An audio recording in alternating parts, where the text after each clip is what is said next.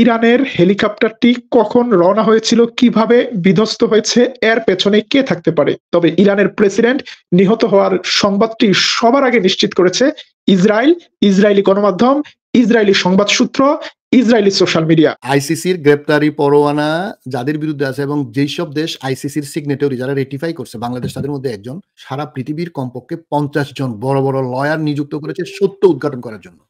এবং বাংলাদেশের এবং আন্তর্জাতিক সংস্থাগুলো, বাংলাদেশের ইন্ডিভিজুয়াল মানুষগুলো এখানে প্রোভাইড করতেছেন আপনার ডকুমেন্ট সত্য ঘটনা উদ্ঘাটন অলমোস্ট হয়ে গেছে আপনি বলতে পারেন।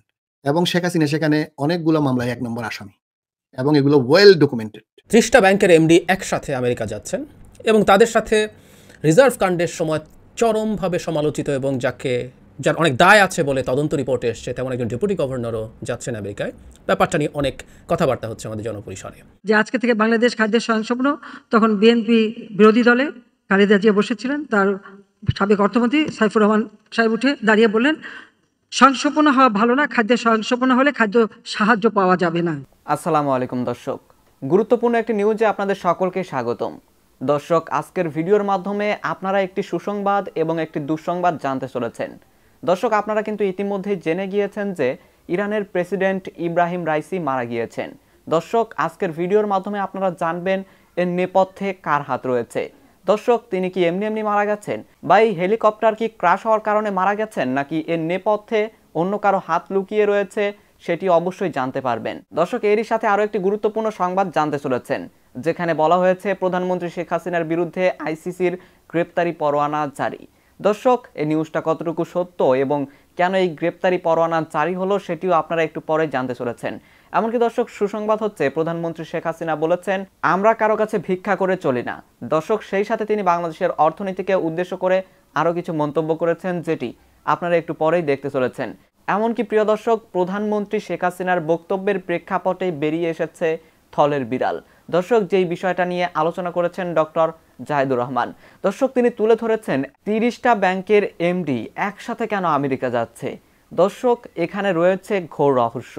কি সেই রহস্য সেটি আপনারা জানতে চলেছেন। এমনকি দর্শক, তিনি এরই সাথে তুলে ধরেছেন যে নতুনভাবে কীভাবে রিজার্ভ চুরি করা যায় সেই বিষয়টা নিয়ে গোপন পরিকল্পনা চলছে এবং সেটা তিনি আগেই ফাঁস করে দিয়েছেন। দর্শক, একজন বাংলাদেশি হিসাবে বা আপনি যদি ব্যাংকে টাকা রেখে থাকেন, তাহলে অবশ্যই আপনার এই নিউজটি দেখা জরুরি। তো দর্শক, আমি আর বেশি কথা বাড়াবো না। আমি ভিডিওর শুরুতে আপনাদের আরও যেই ভিডিওগুলোর অংশবিশেষ দেখিয়ে শুরু করেছিলাম, এখন সেই ভিডিওগুলোর বিস্তারিত আলোচনা দেখাবো। তবে ভিডিওগুলো দেখানোর আগে বলি, যারা এখনও চ্যানেলটি সাবস্ক্রাইব করেননি, সকলে চ্যানেলটি সাবস্ক্রাইব করে পাশে থাকা বেল আইকনটি বাজিয়ে দিবেন। আর যারা ইতিমধ্যেই সাবস্ক্রাইব করে গেছেন, তাদের সকলকে অসংখ্য ধন্যবাদ। তো চলুন, একটি লাইক দিয়ে আমরা ধারাবাহিকভাবে সবগুলো ভিডিও দেখে আসি। ইরানের হেলিকপ্টারটি কখন রওনা হয়েছিল, কীভাবে বিধ্বস্ত হয়েছে, এর পেছনে কে থাকতে পারে? খুব সংক্ষেপে আপনাদের এই তথ্যগুলো জানিয়ে দেব। ইরানের প্রেসিডেন্ট ইব্রাহিম রাইসিকে পরিবহন করা হেলিকপ্টারটি গতকাল আজারবাইজান ইরান সীমান্তে ইরান এবং আজারবাইজানের প্রেসিডেন্টের একসাথে একটি যৌথ বাঁধ উদ্বোধনের পর নিজেদের দেশে ফিরে আসছিল। তাবরিজ শহরে ফিরে আসার পথে তিনটি হেলিকপ্টারের দুইটি নিরাপদে চলে আসে তাবরিজে। ইরানের প্রেসিডেন্টের হেলিকপ্টারটি বিধ্বস্ত হয়। সেই হেলিকপ্টারে ছিলেন ইরানের প্রেসিডেন্ট ইব্রাহিম রাইসি, যিনি এর আগে ইরানের চিফ জাস্টিসের ভূমিকা পালন করেছেন। ছিলেন ইরানের পররাষ্ট্রমন্ত্রী আমির আবদুল্লাহিয়ান এছাড়া ইরানের তাবরিজ শহরের একজন ইমাম এবং পূর্ব আজারবাইজান প্রদেশের গভর্নর। সাম্প্রতিক সময়ে এই রকম প্রেসিডেন্ট নিহত হওয়ার দুর্ঘটনা খুব বিরল হলেও এই অঞ্চলে এইরকম ঘটনার আগেও ঘটেছে। যখন আফগানিস্তান যুদ্ধে পাকিস্তানের পক্ষ থেকে পূর্ণ সমর্থন দেওয়া হচ্ছিল তখন পাকিস্তানের সাবেক প্রেসিডেন্ট জিয়াউল হককে এইরকম একটি বিমান দুর্ঘটনার মাধ্যমে হত্যা করা হয়েছিল। ইরানের প্রেসিডেন্টের হেলিকপ্টার ক্র্যাশটি শুধুই নিছক দুর্ঘটনা নাকি এটি একটি অ্যাসাসিনেশন অ্যাটেম্প সেই বিষয়টি নিয়ে এখনও চলছে জল্পনা কল্পনা। তবে ইরানের প্রেসিডেন্ট নিহত হওয়ার সংবাদটি সবার আগে নিশ্চিত করেছে ইসরায়েল, ইসরায়েলি গণমাধ্যম, ইসরায়েলি সংবাদ সূত্র ইসরায়েলি সোশ্যাল মিডিয়া। গতকাল ইরানের হেলিকপ্টারটি নিখোঁজ হওয়ার পর থেকেই ইসরায়েলিরা উল্লাস প্রকাশ করছিল এবং রাতে রাতেই ইসরায়েলের সরকারের পক্ষ থেকে জানানো হয়, ইসরায়েল এই ঘটনায় কোনোভাবে জড়িত নয়। ইরানের পক্ষ থেকে কোনো অভিযোগ কোনো অভিযোগ দেয়া না হলেও ইসরায়েল আগে আগেই নিজেদেরকে নির্দোষ দাবি করায় তৈরি হয়েছে আরও সন্দেহ। অন্যদিকে মার্কিন যুক্তরাষ্ট্রের একজন সিনেটর, তিনি ইহুদি কিনা আমি জানি না, সেই সিনেটর ইসরায়েলের নাগরিক না সেটিও নিশ্চিত করতে পারিনি, কিন্তু সেই সিনেটর গতকাল রাতেই ঘোষণা দিয়েছে, ইরানের প্রেসিডেন্ট নিহত হওয়ায় বিশ্ব আরও নিরাপদ হবে। ইরানের প্রেসিডেন্ট একজন টেররিস্ট ছিল, একজন স্বৈরাচার ছিল। ইরানের প্রেসিডেন্ট কেমন ছিল সেটি সাক্ষী দিবে সারা বিশ্বের মানুষ। ফিলিস্তিনের প্রায় চল্লিশ থেকে পঞ্চাশ হাজার মানুষকে যখন ইসরায়েল হত্যা করেছে, তখন ফিলিস্তিনের পাশে যেই দেশটি, যেই দেশের নেতারা সাহসের সাথে প্রকাশ্যে সব ধরনের সমর্থন দিয়েছে, সেটি হলো ইরান, ইরানের প্রেসিডেন্ট রাইসি এবং ফিলিস্তিনের মানুষের মুক্তির জন্য যেই ফরেন মিনিস্টার সবচেয়ে বেশি পরিশ্রম করেছে, সেটি হলো ইরানের। তিনি হলেন ইরানের ফরেন মিনিস্টার আমির আবদুল্লাহিয়ান। তিনি কখনো উড়ে গিয়েছেন লেবাননে, বৈঠক করেছেন হিজবুল্লাহর সাথে, কখনো উড়ে গিয়েছেন সিরিয়ার রাজধানী দামেশকে, কখনো ইরাকে, কখনো মার্কিন যুক্তরাষ্ট্রে, কখনো জাতিসংঘের কেন্দ্রীয় কার্যালয়ে। এইভাবে ফিলিস্তিন আসলে তাদের চরম দুর্দিনে পরম একটি বন্ধু বন্ধু রাষ্ট্রের প্রেসিডেন্টকে, পররাষ্ট্রমন্ত্রীকে হারালো। এই ক্ষতি অপূরণীয়। তবে ইরান, ইরানের সেনাবাহিনী সর্বোচ্চ সতর্ক অবস্থায় আছে। আজকের লাইভে যে জিনিসটি জানাতে চাই, এটি যদি একটি অ্যাসাসিনেশন অ্যাটেম্প হয়ে থাকে, যার সম্ভাবনা সবচেয়ে বেশি, এটি প্রথম ঘটনা নয়। এটি ইরানের ভেতরে একটি বড় ধরনের বড় ধরনের দুর্ঘটনার অশুভ সংকেত বা সূচনা হতে পারে। সেজন্য ইরানের গোয়েন্দা সংস্থাকে যেমন সর্বোচ্চ সতর্ক অবস্থায় থাকতে হবে, সেই সাথে মুসলিম বিশ্বকে পুরো ঘটনাগুলো গভীরভাবে পর্যবেক্ষণ করতে হবে। যুক্তরাষ্ট্রের স্যাংশন অথবা কংগ্রেসের ব্যবস্থা, অর্থনৈতিক নিষেধাজ্ঞা বা আরও যত কিছু হওয়ার সম্ভাবনা আছে বা সোফার হয়েছে তার থেকে সবচেয়ে ভয়ঙ্কর হবে আইসিসির যে মামলা। এখানে যে ঘটনাটা ঘটছে দুই হাজার এগারো সালের অগাস্ট মাসে, এই যে আপনি যে বললেন গ্রুপ থার্টি সেভেন যে জি থার্টি সেভেন এর অন্যতম কোফাউন্ডার টবি ক্যাটবেন উনি বাংলাদেশের আইসিটি একটে যাদের বিচার হচ্ছিল, এই যে নিজামি, সালাউদ্দিন কাদের চৌধুরী বা মুজাহিদ যাদেরকে মৃত্যুদণ্ড দিয়ে জুডিশিয়াল কিলিং করা হচ্ছিল, তো উনি একজন আন্তর্জাতিক আইনজীবী হিসেবে, এই যে গ্রুপ থার্টি সেভেনের আপনার একজন কোফাউন্ডার হিসেবে বাংলাদেশে আসছিলেন। অগাস্ট মাসে দুই সালের ওনাকে ঢাকা এয়ারপোর্ট থেকে ঢুকতে দেওয়া হয়নি। তখন উনি ওখানে অনেক চেষ্টা করেছেন, পরে তৎকালীন স্বরাষ্ট্রমন্ত্রীর অর্ডারে উনাকে ওখান থেকেই ফেরত দেওয়া হয় লন্ডনে। উনি ব্রিটিশ, একজন ব্রিটিশ লয়ার টাকা পয়সা লাগবে না। কোনো ভুক্তভোগী যদি তাদের কাছে যায়, তারা নেদারল্যান্ডের হেগের যে আন্তর্জাতিক, আপনার আদালত আছে, সেখানে বিনা পয়সায় কাজ করে যাবে। মজার ব্যাপার হচ্ছে দুই এগারো সালের অগাস্ট মাসে উনাকে ঢাকা এয়ারপোর্ট থেকে ডিপোর্ট করার পর থেকে উনি শুরু করেছেন আপনার এই ইয়ে করা এই নিয়ে কাজ করা। এটা কিন্তু এখন না, দুই হাজার চোদ্দ সালে উনি ডকুমেন্টেশন জমা দিয়েছে। খেয়াল করেন, প্রায় দশ বছরের কাছাকাছি, নয় বছর। এবং গত বারো মাস কমপক্ষে তিরিশ জন ভুক্তভোগী ডকুমেন্ট দিয়েছেন। তো এগুলো তো বাংলাদেশের পত্রিকায় ছাপাইতে দেয় না শেখ হাসিনা। কোনো তো প্রিন্ট মিডিয়া বা ইলেকট্রনিক মিডিয়া এগুলো আসে না। একজন মানে কি বলব, পরাশক্তির প্রধান ভ্লাদিমির পুতিন যোগদান করেন নাই। কেন জানেন? আইসিসির গ্রেপ্তারি পরোয়ানা আছে তার বিরুদ্ধে। আইসিসির গ্রেপ্তারি পরোয়ানা যাদের বিরুদ্ধে আছে এবং যেই সব দেশ আইসিসির সিগনেটরি যারা রেটিফাই করছে, বাংলাদেশ তাদের মধ্যে একজন, সাউথ আফ্রিকা একজন। সাউথ আফ্রিকার প্রেসিডেন্ট রামাফোসা গ্যারান্টি দেওয়া সত্ত্বেও, ইমিউনিটি দেওয়া দেওয়া সত্ত্বেও ভ্লাদিনের ভ্লাদিমির পুতিনের মতো পৃথিবীর অন্যতম শক্তিধর প্রেসিডেন্ট আইসিসির ভয়ে, গ্রেপ্তারি পরোয়ানার ভয়ে দক্ষিণ আফ্রিকার জোহান্সবার্গে ব্রিক্স অনুষ্ঠানে যোগদান করে নাই, সে ভার্চুয়ালি জয়েন করছে। অর্থাৎ আইসিসি যদি কোনো আপনার গ্রেপ্তারি পরোয়ানা জারি করে, সেটা আপনার সিগনেটরি কান্ট্রিগুলা মানতে বাধ্য। না মানলে তাদের বিরুদ্ধে আরও বড় রকমের, এমনকি পুরো সরকারের বিরুদ্ধে গ্রেপ্তারি পরোয়ানা জারি হওয়ার সম্ভাবনা থাকে। তো আমার দর্শকদের উদ্দেশ্যে বলতে চাই আইসিসি কি করতেছে তো ভিতরে আমরা জানি না। ওনারা তো নিরপেক্ষ আর হাসিনার মতো তো রায় দিবে না। হাসিনার কোর্ট না। দুই হাজার চোদ্দ সাল থেকে যে মামলা ডকুমেন্টেড গত বারো মাস ধরে যে নিরবিচ্ছিন্ন কাজ করতেছে, আপনি, আমি যেগুলা নাম বললাম এবং আরও কিছু বড় বড় লয়ারের নাম আছে, এগুলো পড়তে গেলে অনেক সময় লাগবে। এই টবি ক্যাডম্যান এই ভদ্রলোক সারা পৃথিবীর কমপক্ষে পঞ্চাশ জন বড় বড় লয়ার নিযুক্ত করেছে সত্য উদ্ঘাটন করার জন্য। এবং বাংলাদেশের এবং আন্তর্জাতিক সংস্থাগুলো, বাংলাদেশের ইন্ডিভিজুয়াল মানুষগুলো এখানে প্রোভাইড করতেছেন। আপনার ডকুমেন্ট সত্য ঘটনা উদ্ঘাটন অলমোস্ট হয়ে গেছে আপনি বলতে পারেন। তো শেখ হাসিনার বিরুদ্ধে ভ্লাদিমির পুতিনের মতো কখন গ্রেপ্তারি পরোয়ানা যায়? শেখ হাসিনা শুধু না। আমরা জানতে পারছি কমপক্ষে আড়াইশো ক্রিমিনাল এই যে র্যাব পুলিশ ডিবি এই যে আপনি যেগুলোর কথা বলতেছেন, এদের বিরুদ্ধে সোফার আমরা জানছি আড়াইশো। এদের বিরুদ্ধে আইসিসি ব্যবস্থা যখন নিবে, তখন কি কি ঘটনা করবে আপনি মনে করতেছেন? এবং শেখ হাসিনা সেখানে অনেকগুলো মামলায় এক নম্বর আসামি এবং এগুলো ওয়েল ডকুমেন্টেড তো সুতরাং সেখানে সাতান্ন জন আপনার আমাদের বিডিআর হত্যাকাণ্ডে আর্মি অফিসারের ঘটনা বলেন। সেখানে এই যে আপনার বিচারের নামে অবিচার যে মানবাধিকার একাত্তরের যে অবিচার করা হয়েছে, আপনি জানেন যুক্তরাষ্ট্র ইউরোপিয়ান ইউনিয়ন, ইউনাইটেড নেশনস থেকে শুরু করে সমস্ত বিষয় আইসিটি কে ডিপ্লোর করেছে কন্ডেম করেছে। এটা কোনো বিচার বলে কেউ ডিক্লেয়ার করেনি এটা এমনকি আন্তর্জাতিক আদালতও এটা কন্ডেম করেছে। তো সুতরাং তারপরে আপনার বিচার বহির্ভূত হত্যা, তারপরে ডিজেপিয়ার করা এক্সট্রা জুডিশিয়াল কিলিং করা, ওখানে তো টবি ক্যাডম্যানের অনেক আর্টিকেল আছে। টবি টবি ক্যাডম্যান আপনার জাস্ট সিকিউরিটি নামে একটা পত্রিকায় উনি ওনার যে আমি অন্তত পক্ষে পাঁচটা আর্টিকেল আমি পড়েছি এবং এই উনি যে এত রিসার্চ করেছেন, এত ডকুমেন্ট জোগাড় করেছেন এটা আনবিলিভেবল আমরাও জানি না। এখানে একটা আর্টিকেল উনি গত আট, দুই সালে লিখেছেন যেটার প্রতিবাদ করতে গিয়ে বাংলাদেশের তৎকালীন বাংলাদেশের নিযুক্ত আমেরিকান রাষ্ট্রদূত, এটা এখনও হাসিনার আপনার প্রধানমন্ত্রীর অফিসে অ্যাম্বাসেডর এট লার্জ জিয়াউদ্দিন। ও ও এটা একটা রিজয়েন্ডার দিয়েছেন। এইটার পাল্টা লেখা টবি ক্যাডম্যান যেটা লিখেছেন তাতে শুধু একটা লাইনই আমার মনে হচ্ছে যে আমরা যেটা বলি টবি ক্যাডম্যান লিখছেন যে, আপনি একজন অ্যাম্বাসেডর হয়ে যে আওয়ামী লীগকে রিপ্রেজেন্ট করেন এটা জানতাম না। আমরা জানি একজন অ্যাম্বাসেডর একটা দেশকে রিপ্রেজেন্ট করে। তো আপনাদের এই যে দলীয় মনোবৃত্তি থেকে একটা দেশকে আপনারা শেষ করে দিচ্ছেন, এইটার বিচারই আমরা আন্তর্জাতিক আদালতে করব। এইটা উনি এক জায়গায় মন্তব্য করেছেন। শুধু আমি আপনাকে একটা লাইন বললাম। তো বাংলাদেশের মানুষকে আমি আশাবাদী শুধু হতে বলব না ক্রাইম করলে যে ন্যাচারাল জাস্টিস হয় দেখেন শেখ হাসিনা দুই হাজার দশ সালে এখানে সিগনেচার করছে। সিগনেচার না করলে এটা বাধ্যবাধকতা ছিল না। কিন্তু করছে আন্তর্জাতিক মাধ্যমকে আন্তর্জাতিক আপনার কি বলে, সরকারগুলাকে, বিদেশি সরকারগুলাকে চোখে ধুলা দেওয়ার জন্য যে আমরা আন্তর্জাতিক আইনে বিচার করতেছি। সে ওইটা সিগনেচার করে এসে যা ইচ্ছা তা করছে। আন্তর্জাতিক তো দূরের কথা, দেশের আইনও মানে নাই। ওইটার জন্য নতুন আইন করে মানুষকে আপনার জুডিশিয়াল কিলিং করছে। এখন সে তার নিজের ফাঁদে নিজেই ধরা পড়ছে। এবং আমি মনে করি, খুব সহসা হয়তো আমরা ডেটটা বলতে পারব না, এক মাস, দু মাস, কখন জানি না।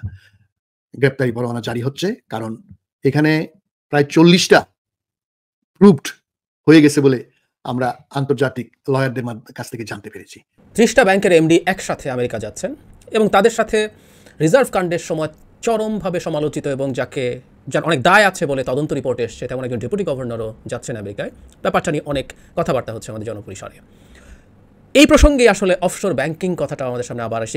এটা কথা গত এক দেড় দুই মাস ধরে চলছিল, কিন্তু এটা আরও বেড়েছে। কারণ হলো এই এমডিরা মূলত যাচ্ছেন আমেরিকা জাস্টিস ডিপার্টমেন্টের একটা প্রোগ্রামে কিন্তু তাদের অনেকেই আবার অফশোর ব্যাংকিং নিয়ে তাদের প্রচার প্রচারণা চালাবেন। সুতরাং অফশোর ব্যাংকিং নিয়ে একটু কথা বলতে চাই।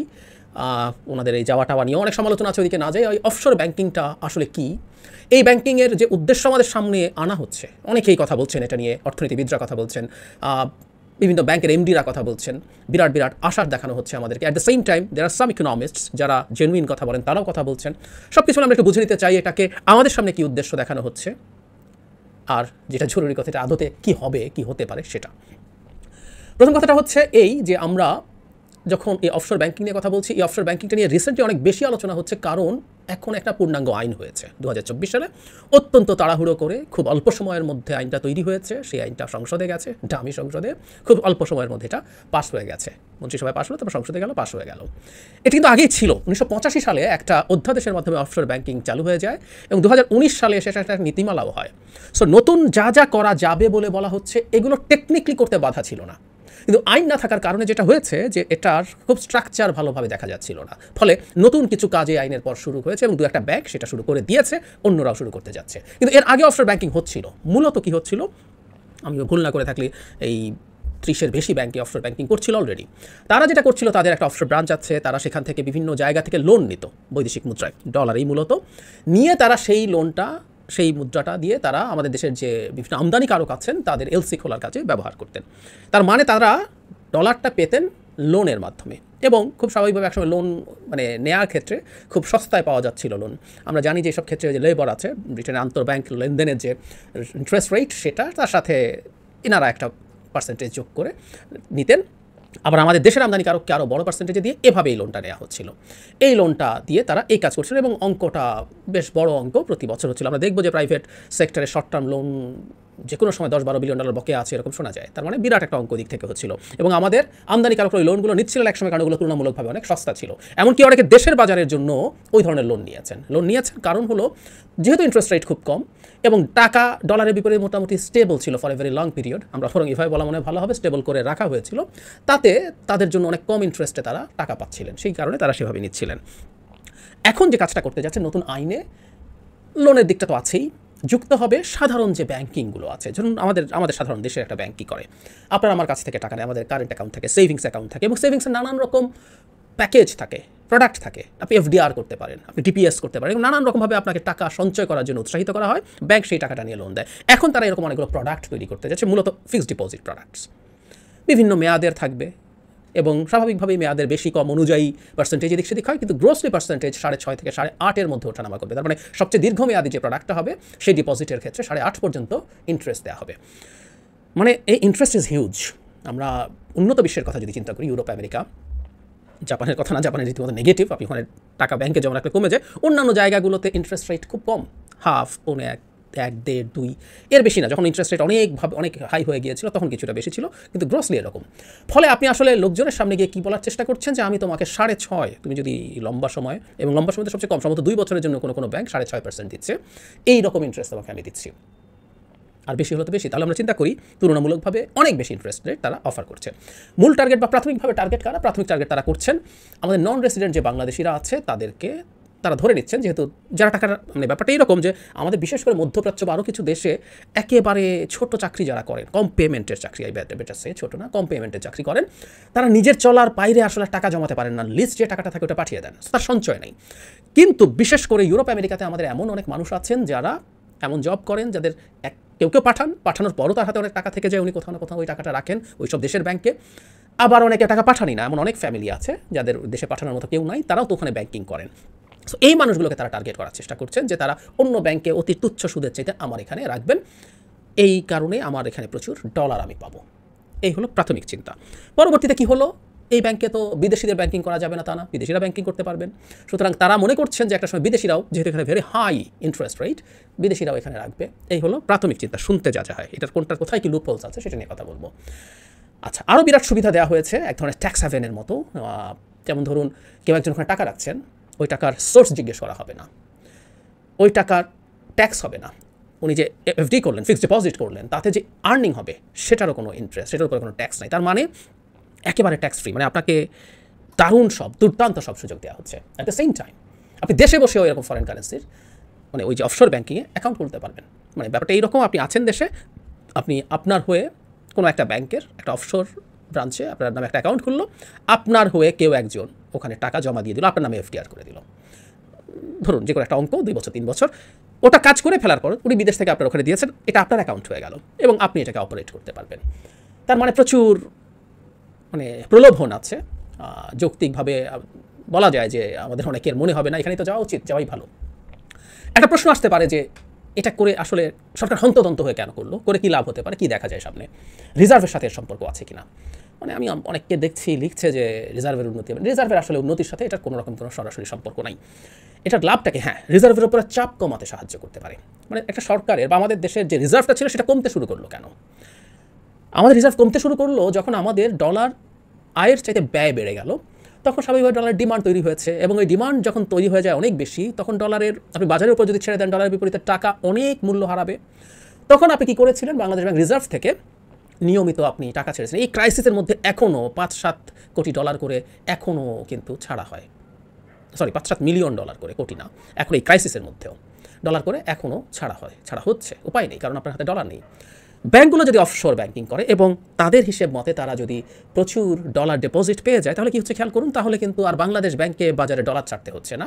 তার হাতে ডলার থাকছে এক তাহলে তার ক্ষয় হলো না। বাংলাদেশ ব্যাংক চাইলে এরপর এটাকে আরও সমৃদ্ধ করতে পারে। ব্যাংকের হাতে যদি আমদানি রপ্তানির তুলনায় আরও অনেক বেশি ডলার থেকে যায় মানে তারা মানে আমদানির এলসি টেলসি খোলা বা মানুষ যা যা চাচ্ছে বিদেশে সব দেওয়ার পরও যদি ডলার থেকে যায়, বাংলাদেশ ব্যাংক কারেন্সি সোয়াপ খুল শুরু করেছিল, বন্ধ করেছে, আবার কারেন্সি সোয়াপ করবে। কারেন্সি সোয়াপ করে আবার ডলার সে নিতে পারে, ফলে তার রিজার্ভটাকে সে অনেক বড় করে ফেলতে পারবে। প্রচুর রিজার্ভ যেহেতু আছে।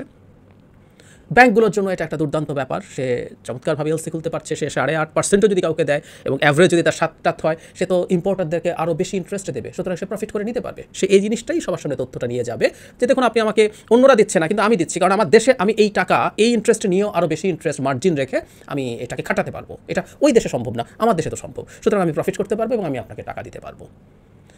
এই হচ্ছে গ্রোস চিন্তা। এভাবে টাকা আসবে, টাকা চলবে ওখান থেকে সরাসরি নিয়ে কেউ বাংলাদেশে ইনভেস্ট করতে পারবে এফডিআই আসবে, দেশের মানুষের আস্থা অর্জন করতে করতে আস্থা অর্জিত হতে হতে কোনো বিদেশি তো অন্য কিছু না সাধারণ বিদেশির মনে হয় বাবা ওখানে তো ছয় সাত পার্সেন্ট ইন্টারেস্ট দেওয়া হচ্ছে। লেটস গো দেয়ার উনি ওনার লক্ষ লক্ষ ডলার ওখানে করবেন, রাখবেন।